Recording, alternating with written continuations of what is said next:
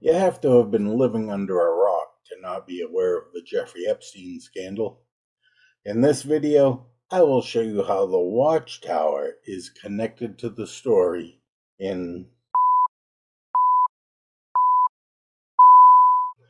Thanks for stopping by on YouTube. I'm known as XJW Curious, but my friends call me Pete. Just in case you were living under a rock, let me give you the basic backstory.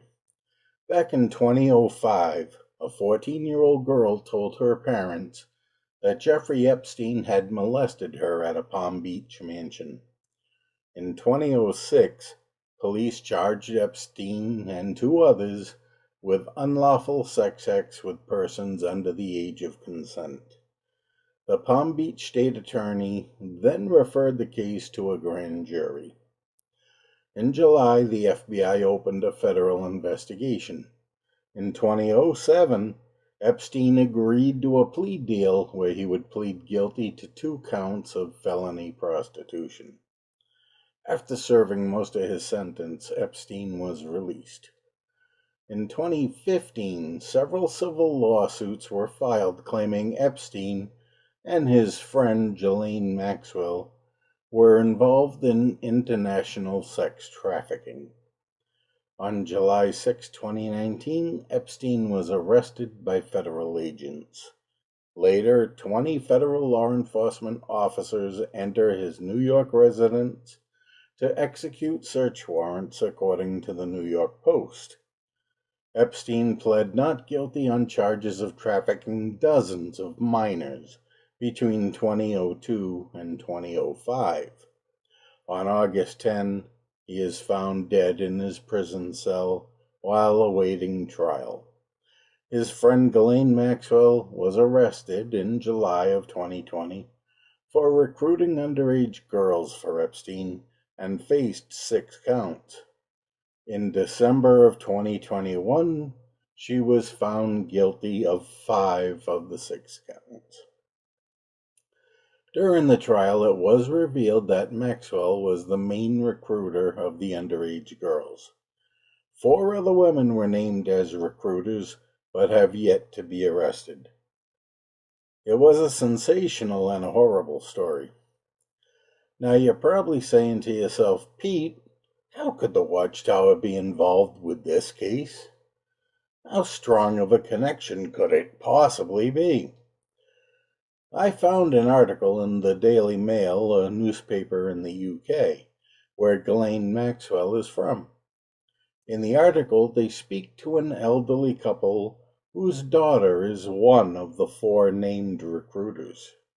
The elderly couple are longtime Jehovah's Witnesses. Their daughter, Sarah Kellen, is a disfellowshipped witness. Here are some of the excerpts from the story. I will put a link in the description box below to the original story. It's worth a read. Thomas and Mary Kellen, both Jehovah's Witnesses, told DailyMail.com in an exclusive interview that their daughter was naive and vulnerable when she met the billionaire pedophile and could now pay a heavy price for being swept into his vile world. After Maxwell, I think Sarah's next, said 74 year old Mary, fighting back tears as she revealed fears the youngest of her five children could be arrested by federal agents at any moment. What happened to all those girls is horrendous but I do feel that Sarah was also a victim. I'm not a psychologist or a psychiatrist, but I can see she was maneuvered or brainwashed. Is it just me, or is it amazingly ironic she can say her daughter was brainwashed by Epstein and Maxwell, yet didn't think she was when she was a witness? But I digress. With Epstein having hanged himself in jail, federal authorities in New York are said to be closing in on his alleged accomplices, including a coterie of glamorous female aides who managed his appointments with underage girls. His former lover, Ghislaine Maxwell, a British socialite with links to some of the world's richest and most influential people, is already behind bars and has been denied bail as she awaits her trial on sex trafficking charges next July. But four more women named in the legal documents as potential co conspirators are yet to face arrest. Chief among them, Kellen, who spent around a decade working as Epstein's personal assistant.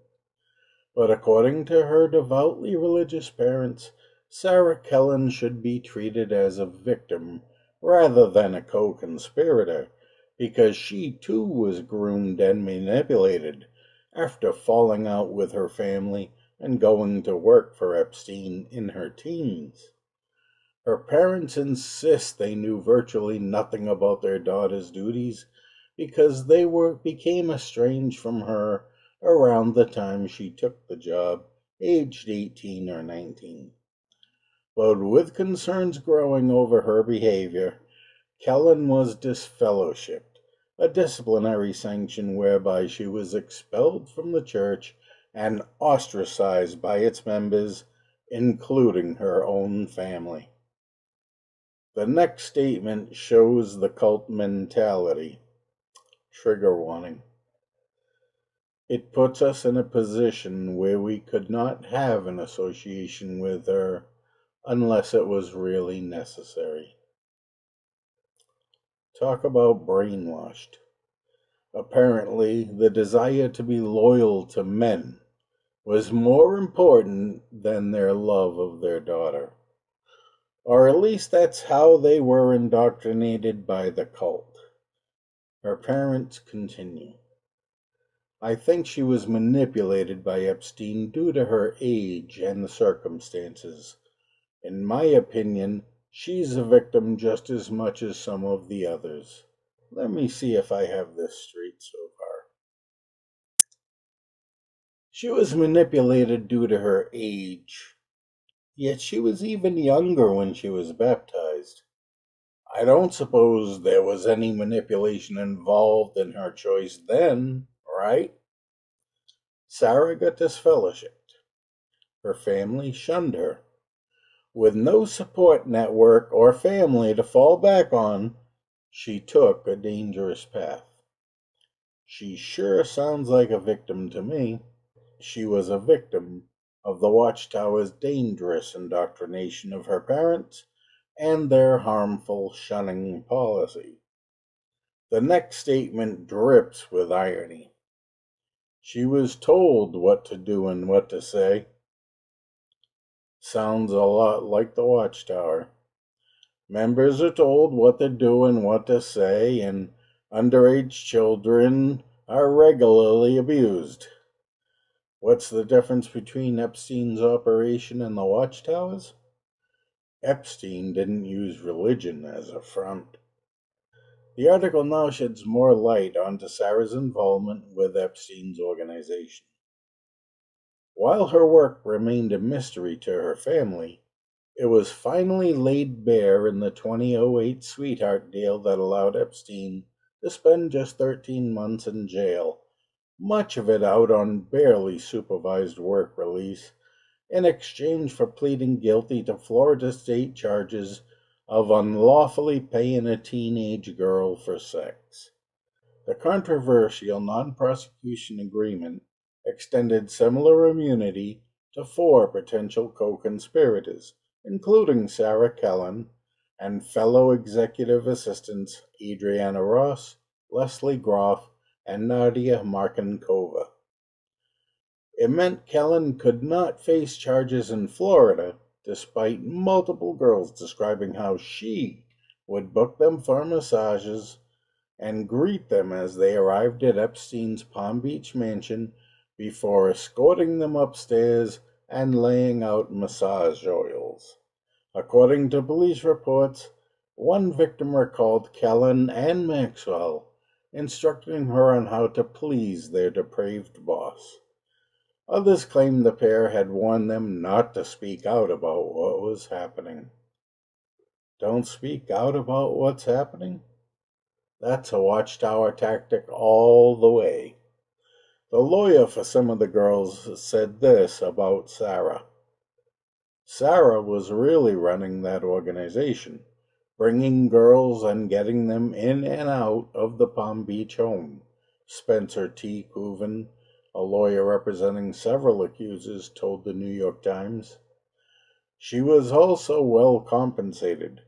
Epstein divulged in a 2005 interview that he paid his closest assistants $200,000 a year.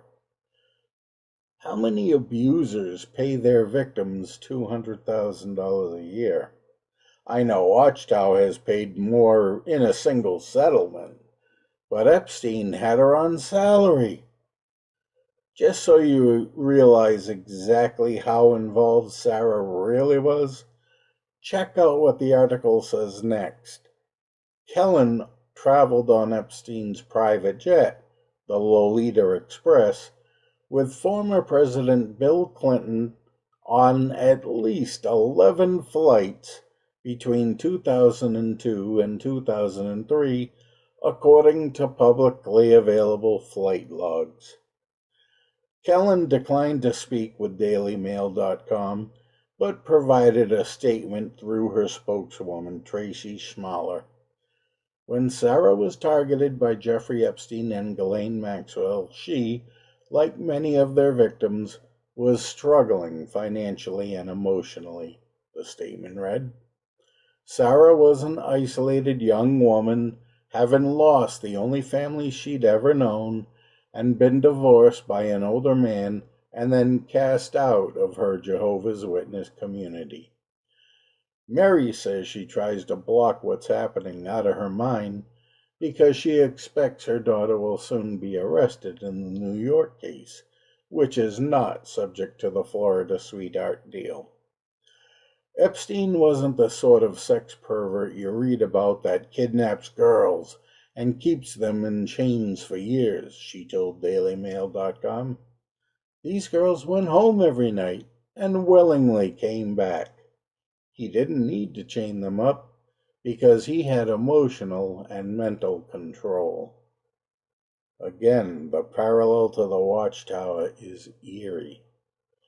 The Watchtower doesn't need to chain up its members either.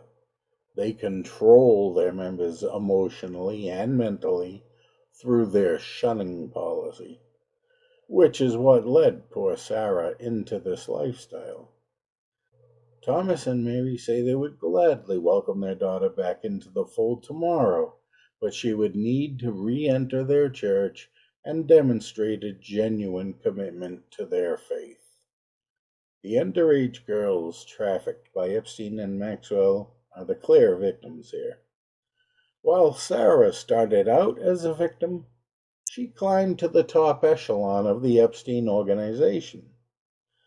Epstein and Maxwell were to the Epstein organization as the governing body is to the Watchtower organization. But Sarah, in the Epstein organization, is like Ralph Walls, a helper to the governing body.